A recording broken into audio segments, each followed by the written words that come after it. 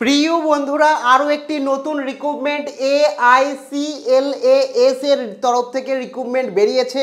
তোমরা অনেকেই বলবে, কোন ডিপার্টমেন্ট তো এখানে এয়ারপোর্ট অথরিটি অফ ইন্ডিয়ার তরফ থেকে কিন্তু নতুন ভ্যাকেন্সি বেরিয়েছে, যেখানে কোনো রকম তোমাদের এক্সাম দিতে হবে না।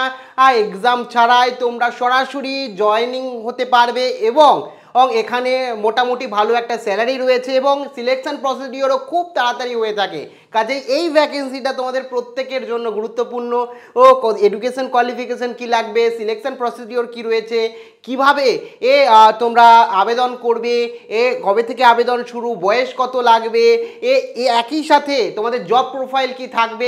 এ টু জেড এর এই এয়ারপোর্ট অথরিটি অফ ইন্ডিয়ার অর্থাৎ এয়ারপোর্টের তরফ থেকে নতুন ভ্যাকেন্সি নিয়ে বিস্তারিত আলোচনা করব। কাজেই ভিডিওটি প্রত্যেকে প্রথম থেকে শুরু করে শেষ পর্যন্ত ওয়াচ করো, কারণ একটি অন্যরকম ভ্যাকেন্সি পরীক্ষা ছাড়াই তোমাদের চাকরির ভ্যাকেন্সি এবং যেখানে অনেক ধরনের বিষয় আলাদা রয়েছে। কাজেই এই সম্পূর্ণ ভিডিওটা মনোযোগ সহকারে দেখো এবং যারা যোগ্য তারা অবশ্যই আবেদন করো। প্রথমেই বলে রাখি যে A I A A I মানে তোমরা প্রত্যেকে জানো।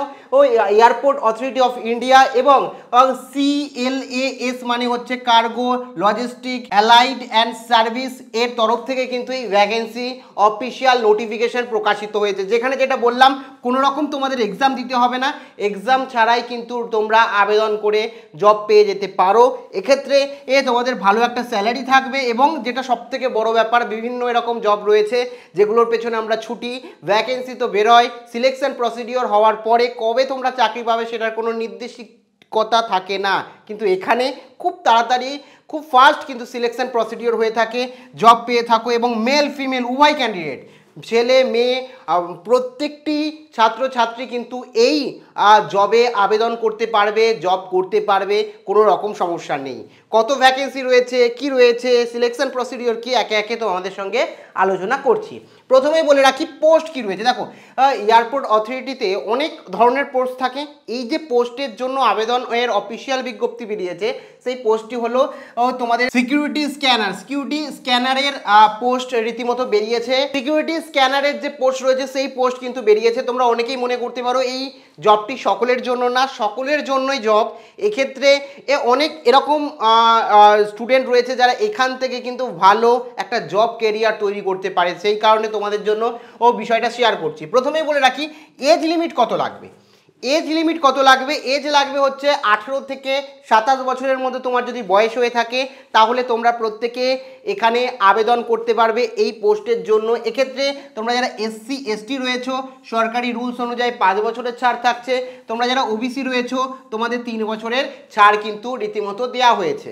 এক্ষেত্রে বলে রাখি ফি কত লাগবে? একটা ফি লাগবে অনলাইনে আবেদন করার জন্য। কীভাবে আবেদন করবে? কোথা থেকে আবেদন করবে? সমস্তটা বলব। ও, তোমাদের এর জেনারেল যারা রয়েছো বা ওবিসি যারা রয়েছে, তাদের সাতশো পঞ্চাশ টাকা কিন্তু দিতে হবে আবেদন কর- করার জন্য। এবং যারা এসসি রয়েছে এসটি রয়েছে ইডাব্লিউএস রয়েছে, তাদের কিন্তু একশো টাকা দিতে হবে। এটা অনলাইন আবেদনের জন্য তোমাদের পেমেন্ট করতে হবে অনলাইন আবেদন করার সময়। সিলেকশন প্রসিডিওর কথা যদি বলি, কি রয়েছে? তার আগে বলে রাখি যে এক্সাম কিন্তু তোমাদের কোনো রকম দিতে হবে না।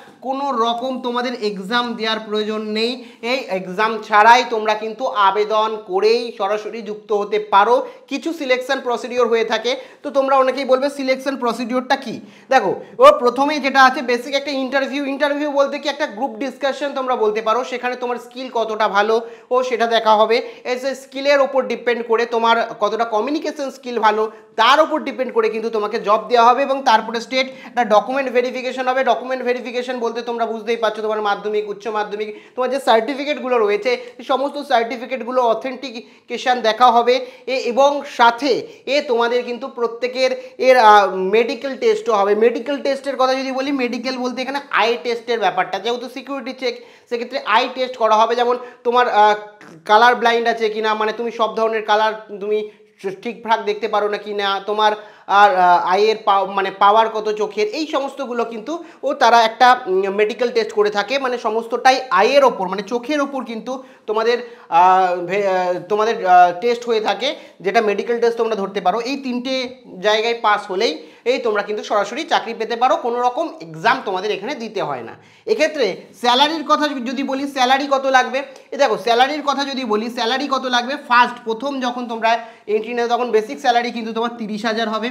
এ তোমার দ্বিতীয় বছরে স্যালারি দু হাজার বাড়বে বত্রিশ হাজার তৃতীয় বছরে কিন্তু তোমার চৌত্রিশ হাজার স্যালারি হবে। এক্ষেত্রে আমি তোমাদের প্রত্যেকে বলে রাখি, এটা বেসিক স্যালারির কথা বললাম, তারপরে বিভিন্ন অ্যালায়েন্স রয়েছে, সেগুলো যুক্ত হয়ে প্রায় চল্লিশ হাজারের কাছাকাছি কিন্তু তোমাদের স্যালারি হবে।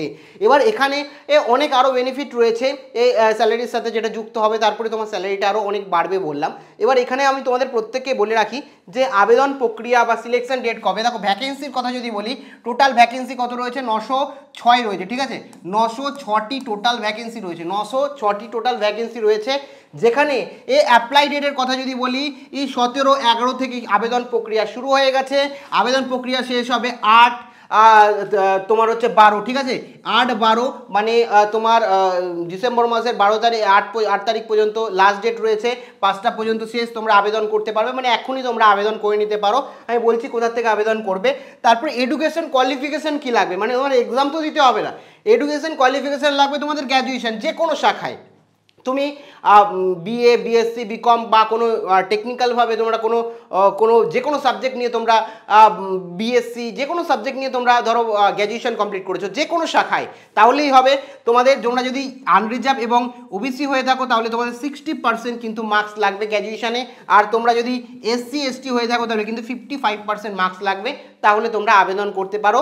ও, এবং তারপরে জব প্রোফাইলের কথা যদি বলি, যে জব প্রোফাইল কি রয়েছে, দেখো, ও, আমরা যখন মেট্রোতে যাই বা আমরা যখন এয়ারপোর্টে যাই তখন কি হচ্ছে আমাদের বিভিন্ন রকমের সিকিউরিটি চেকিং হয়ে থাকে, ঠিক আছে? চেকিং হয়ে থাকে যে স্ক্যানিং ডিভাইস যে স্ক্যান করে যে কোনো ইলিগাল কিছু নিয়ে যাচ্ছে কিনা। তো এই ধরনের কাজই অ্যাকচুয়ালি হয়ে থাকে। মানে সিকিউরিটি স্ক্যানার মানে তোমরা বুঝতেই পারছ, সমস্ত সিকিউরিটি রিলেটেড কাজকর্মই তোমাদের হয়ে থাকবে। বিশেষ করে যখন কোনো তোমরা ব্যাগ নিয়ে যাবে সেগুলোকে সিকিউরিটি করা। তো এই ধরনের কাজই কিন্তু জব প্রোফাইলে হয়ে থাকে। এবং এটা বলে রাখি এটা একটা কন্ট্রাকচুয়াল মানে তিন বছরে তোমাদের জব হবে যেহেতু এক্সাম দিতে হবে না, সরাসরি তিন বছরের জব হবে এবং সেখান থেকে তোমার পারফরমেন্সের অনুযায়ী সেটা কিন্তু লাইফ টাইম পর্যন্ত তোমরা করতে পারো। প্রথমে তিন বছরের হয়, তারপরে ওটাকে এক্সটেন্ড করে দেওয়া হয়। হয়তো এক্ষেত্রে বলে রাখি, এটা অনেকের ক্ষেত্রে সুবর্ণ সুযোগ, কারণ প্রচুর সংখ্যক আবেদন পড়ে না, অনেকে জানেই না এখনও পর্যন্ত হয়তো ওয়েস্ট বেঙ্গলের এই ভ্যাকেন্সি নিয়ে কেউ আবেদন তোমাদের সঙ্গে আলাদা আলোচনা করেনি। সেই কারণে আমি তোমাদেরকে বিস্তারিত বললাম, কারণ এই জবটাও অনেকের কাছে অনেক গুরুত্বপূর্ণ। কারণ দেখা যায় সারা বছর এক্সাম দিয়ে অনেকে চাকরি পায় না এখান থেকে ভ্যাকেন্সি তুলনামূলক কম, কিন্তু আবেদনও অনেক তুলনামূলক কম পড়বে। সেই কারণে কম্পিটিশনও কম এবং স্যালারির কথা যদি বলি স্যালারিও কিন্তু মোটামুটি চল্লিশ হাজারের কাছাকাছি এসে দাঁড়াবে। সেক্ষেত্রে খারাপ একটা স্যালারি নাই। সেক্ষেত্রে তোমরা যারা আবেদন করতে চাইছো, তোমরা অবশ্যই আবেদন করো, কারণ অনেকের ক্ষেত্রেই এই ভ্যাকেন্সিটা অনেক বেশি জরুরি হয়ে থাকবে। সেই কারণেই তোমাদের জন্য বিষয়টা শেয়ার করলাম। এবং এখানে তোমার আবেদন করতে গেলে, এ তোমরা এখনই আবেদন করতে পারো। আমি- আবেদনের লিঙ্ক টেলিগ্রাম চ্যানেলে দিয়ে রেখেছি। টেলিগ্রাম চ্যানেলের লিঙ্ক আমি ডেসক্রিপশানে রয়েছে। টেলিগ্রাম চ্যানেলে গিয়ে তোমরা সরাসরি কিন্তু এই ভ্যাকেন্সি নিয়ে নিতে পারো, কোনো রকম সমস্যা নেই। তো প্রত্যেকে ভালো থেকো, আবার দেখা হচ্ছে পরবর্তী কোনো ভিডিওতে জয় হিন্দ।